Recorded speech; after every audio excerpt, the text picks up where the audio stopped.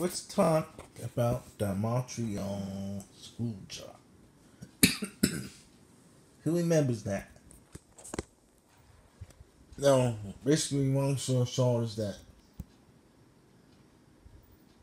Bret Hart did not want to lose to Shawn Michaels in, in his home country of Canada. Mm, yeah, who won? And that's why I kind of I kind of agree with Bret on that. Why would you want to lose from your in your home state to home country? Mean, that's not right. Now, Rick did agree to drop the belt to Michaels, but not in Canada.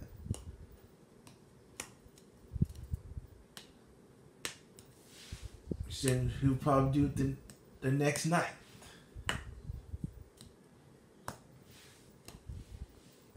Just let him keep the belt while they're in Canada. And know Vince wanted to drop the belt now.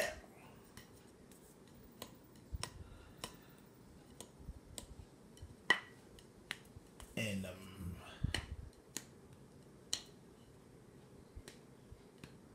so basically doing the match.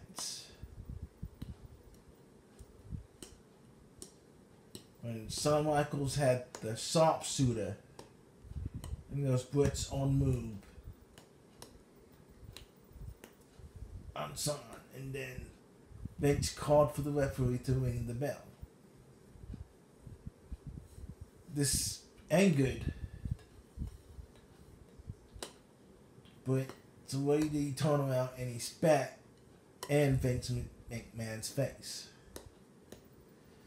Then of course there's also a way to a big heated argument in the backstage area.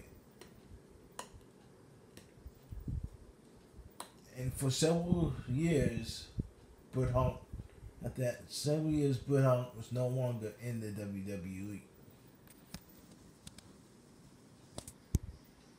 Until several, several years later, well, Hart was finally inducted into the Hall of Fame.